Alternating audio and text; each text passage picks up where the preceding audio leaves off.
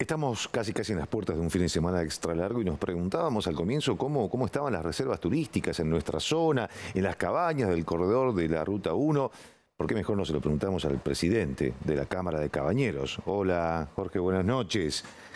¿Con expectativas? Hola, buenas noches, Juan Pablo. ¿Expectativas? ¿Muchas? Las expectativas están colmadas desde hace ya unos días, ¿no? Eh, hoy estamos ya viviendo la realidad de tener este, un fin de semana nuevamente exitoso. Este, y cuando hablo de éxito en esta oportunidad es porque tenemos ocupación del 100% de la capacidad este, de camas que tenemos en la provincia de Santa Fe a nivel de cabañas, que es lo que nosotros este, eh, agrupamos ¿no? como Cabacetur, la Cámara de Cabañeros y Servicios Turísticos de la provincia de Santa Fe este, tenemos la suerte de decir que estamos ya con el 100% de reservas. Wow, o sea que si, si yo quiero, se me ocurre ahora de último momento, estoy frito, digamos, está todo lleno.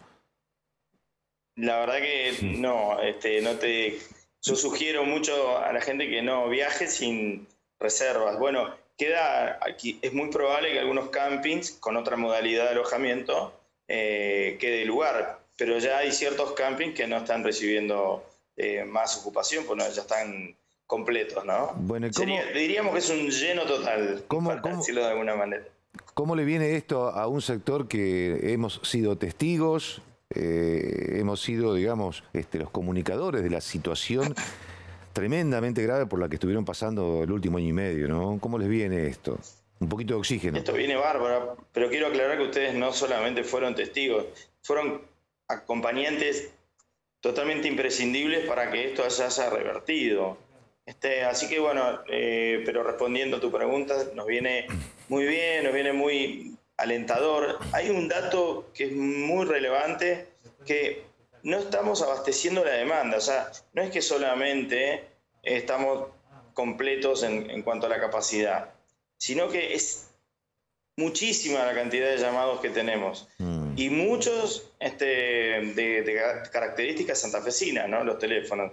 O sea, mucha gente de Santa Fe que se vuelca a vivir Santa Fe.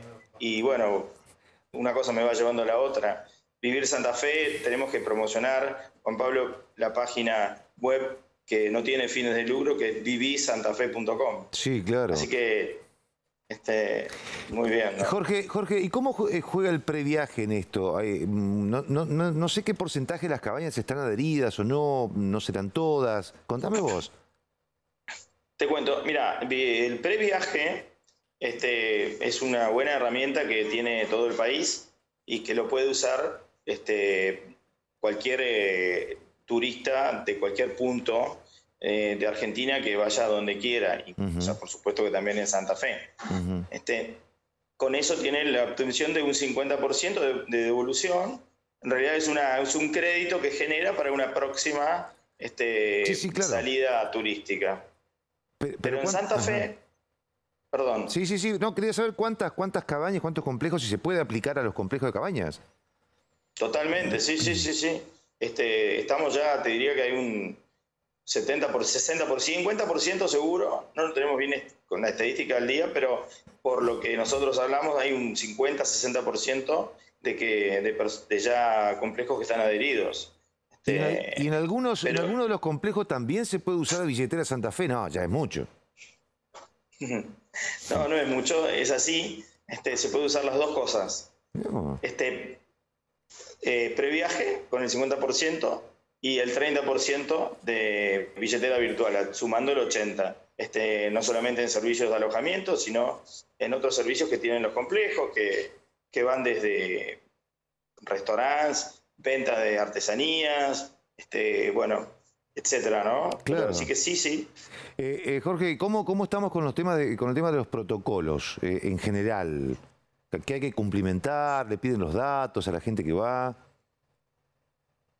Datos se pidieron siempre, es una cuestión de estadística y además de, responsabilidad, como cualquier este, check-in que uno hace en cualquier lugar que va y se aloja.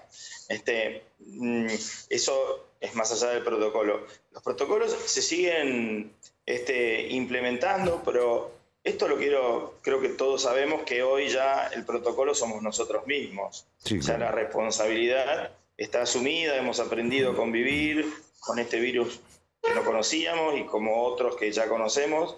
También hoy estamos conviviendo con este virus. O sea que el, protocolo es la responsabilidad de cada uno de los habitantes que ya ha aprendido este, a manejarse en esta pandemia. Este fin de semana extra largo les permite ilusionarse para el verano, para fin de año y verano, digamos.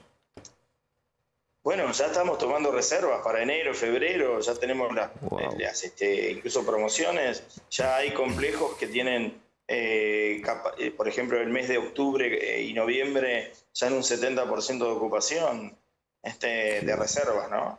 Este, ya hay reservas para diciembre, que tenemos los, fines de semana festivos.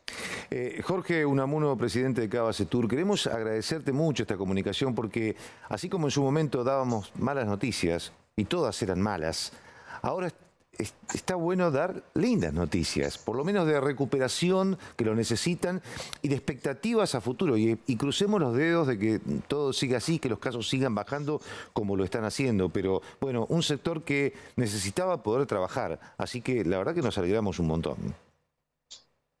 Yo te agradezco, Juan Pablo, y, en nombre tuyo a todo el, todos los medios que han estado siempre al lado nuestro desde un primer momento, cuando salimos a manifestarnos. También lo estuvo el Estado, también estuvo Alejandro Grandinetti, así que este, hemos, cuando nos agrupamos como Cámara, eh, tuvimos resultados. Y eso eh, hay que darle esa lectura, que estando juntos y Santa Fe tiene que tomar una conciencia de que, bueno, esto lo quiero decir con otras palabras, tenemos que ser embajadores de nuestra provincia. No, no solo hay embajadores en Argentina, por ejemplo, lo tenés al cordobés, es un gran embajador de su provincia, y es, orgulloso de la misma. Y nosotros vamos y disfrutamos mucho. Cuando vayamos, también llevemos parte de nuestro corazón santafesino y seamos este, un transmisor de todo lo que tenemos. Así que salgamos a conocer lo que Santa Fe tiene.